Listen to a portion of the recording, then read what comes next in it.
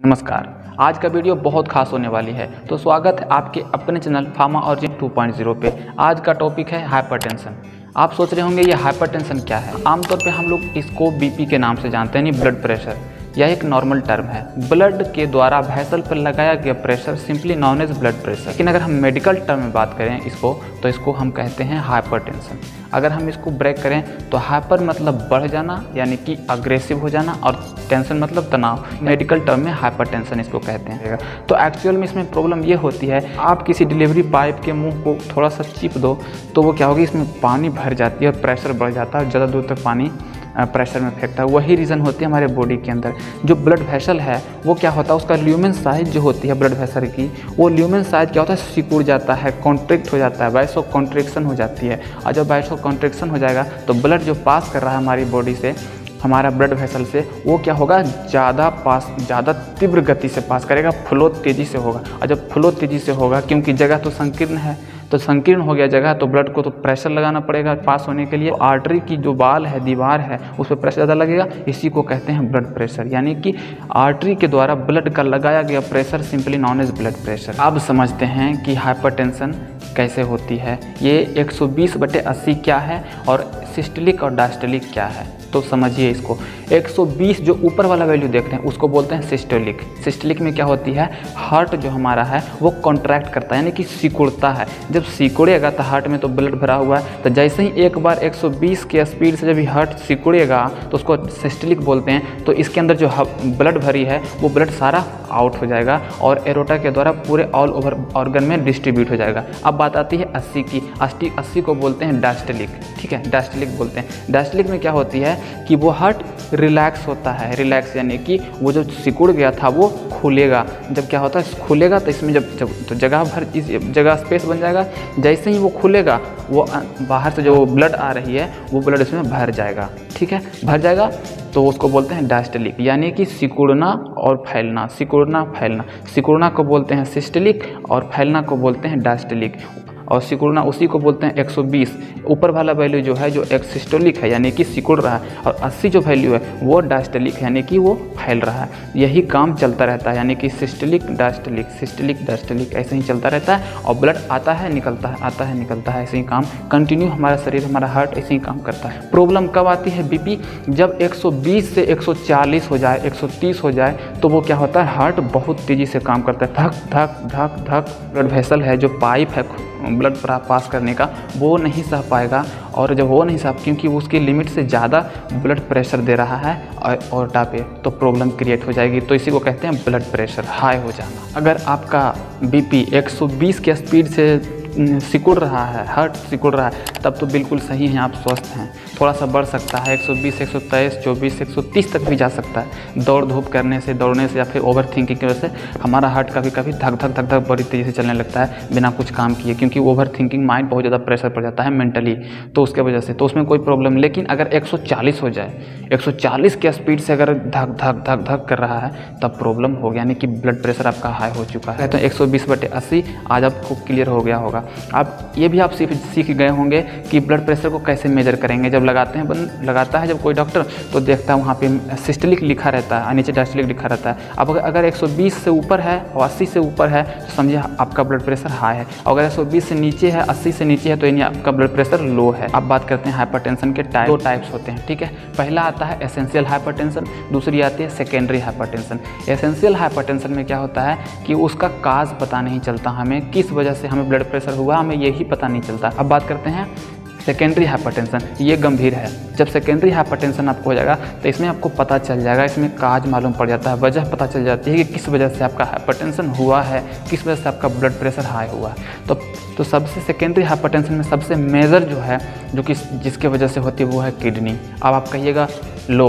Kidney का का क्या काम वो क्या करता है? ब्लड की इम्प्योरिटी को फ़िल्टर करके यूरिन में फॉर्मेशन बना करके आउट करता है। कचरा ब्लड में जो प्रॉब्लम है, उसको फ़िल्टर करता है। और फ़िल्टर करके उसकी जो साल्ट की वॉल्यूम है और वाटर की वॉल्यूम है, वो एब्जॉर्ब करके यूरिन में कन्वर्ट करके और हमारा पेशाब के रास्ते के द्वारा आउट करवाता है। ये किडनी का मेन काम। जब सोडियम की मात्रा बढ़ जाती है हमारी बॉडी में तो वो क्या करता है? ब्लड के वॉल्यूम को हाई कर देता है और ब्लड के प्रेशर को बढ़ाने में मदद करता है। और किडनी का मेन काम है सोडियम को आउट करना, नमक को आउट करना साल्ट को आउट करना। अब सोडियम और क्योंकि ब्लड से ऑब्जॉर्व करके सोडियम को वो पेशाब के द्वारा आउट कर देता है। अब बताइए कि जब किडनी सही तरीके से ऑब्जॉर्व नहीं करेगा सोडियम को तो क्या होगा? वो उसमें स्टोर होता जाएगा और एक बार क्या होगी? वो ब्लड के वॉल्यूम को हाई कर देगा और हमें ब्लड प्रेशर हो जाएगी, हमें हाइपरटेंशन हो जाएगी। तो पहली सेकेंडरी हाइपरटेंशन का पहला क्या था? किडनी दूसरा प्रॉब्लम है जिसकी वजह से होती है, वो है थायराइड ग्लैंड थायराइड ग्लैंड एक ऐसा ग्लैंड है जो हमारा क्या करता है हमारे बॉडी के मेटाबॉलिक कंडीशन को कंट्रोल करता है, ठीक है?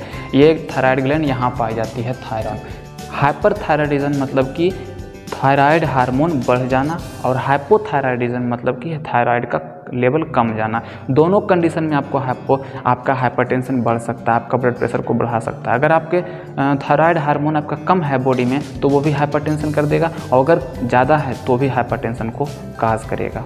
सेकेंडरी हाइपरटेंशन का तीसरा पॉइंट आता है एरोटा में क्या होती है? हमारा ब्लड जो हमारा हार्ट है हार्ट से एरोटा का काम है कि ऑल ओवर बॉडी में ब्लड का सप्लाई करना। अब वो क्या होती है? एरोटा के जो पाइप है वही छोटा हो जाता है, उसका साइज़ में कमी आ जाती है। जब बोलिए कि इतना साइज़ अगर इतना साइज़ है, अगर कोई ब्लड पास कर रहा है इतने साइज़ से तो अगर इसमें इसका साइज़ में कमी आ जाए, इतना हो जाए तो सोचिए कि जो ब्लड का जो फ्लो था, उसमें तेज़ी आ जाएगा ब्लड का फ्लो तेज़ी से फ्लो करेगा और इसकी दीवार पर प्रेशर लगेगी, बहुत ज़्यादा प्रेशर लगेगा। इसकी वजह से क्या होती है ब्लड हमारा ब्लड प्रेशर हाई हो जाता है हाइपरटेंशन हो जाती है। तो आप तीन पॉइंट समझ लिए सेकेंडरी हाइपरटेंशन का। यानी कि पहला तो किडनी के द्वारा, अगर किडनी में आपका प्रॉब्लम है तो भी आपको हाइपरटेंशन हो जाएगा। अगर आपका थायराइड प्रॉब्लम है, बढ़ गया या घट गया तो भी हो जाएगा।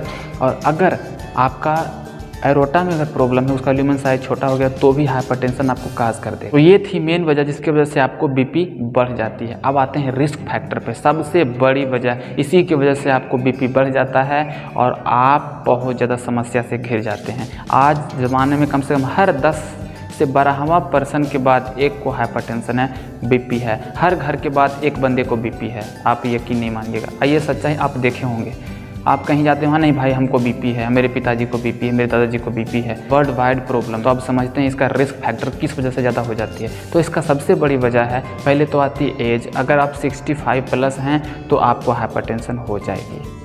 पहला फैक्टर दूसरी फैक्टर आती है स्मोकिंग अगर आप अधिक मात्रा में निकोटिन लेते हैं, दिन भर में चार बार आप सिगरेट फूंकते हैं तो आपके लंग्स को ख़राब करेगा और निकोटिन की मात्रा बढ़ जाने की वजह से आपको ब्लड प्रेशर हाई हो जाएगा। तीसरी आती है अल्कोहल बहुत ज़्यादा अल्कोहल लेने से भी आपके किडनी को, आपके लीवर को प्रॉब्लम डैमेज कर देगा हाइपरटेंशन काज कर देगा। चौथी आती है जेनेटिक प्रॉब्लम अगर यानी कि जीन डिफेक्ट अगर आपके हिस्टोरिकल प्रॉब्लम अगर आपके दादाजी को है, आपके पिताजी को है, आपको भी हो जाएगा। और पूरा चाउमीन बर्गर, पिज़्ज़ा खा रहे हो तो वो भी आपको हाइपरटेंशन काज कर देगा। अब आती है सबसे बड़ी वजह, इतना भागदौड़ लाइफ में 10 साल से लेकर सत्तर साल के जो बंदे हैं, वो भी टेंशन से घिरे हुए हैं।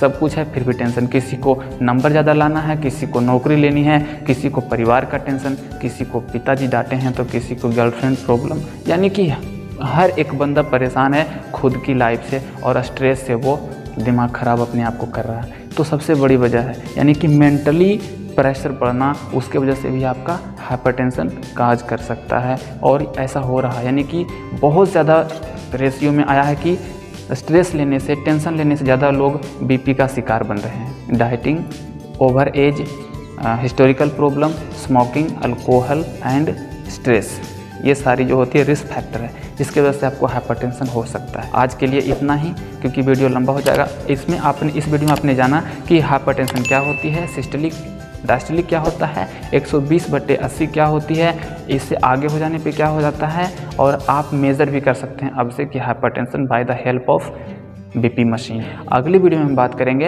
एंटी हाइपरटेंशन यानी कि बीपी को कैसे ठीक कर सकते हैं, इसके लिए कौन सी मेडिसिन लगेगी। So thank you so